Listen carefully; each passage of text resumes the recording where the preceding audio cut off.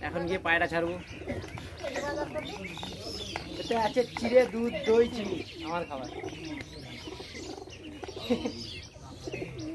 তোমার নিরামিষ না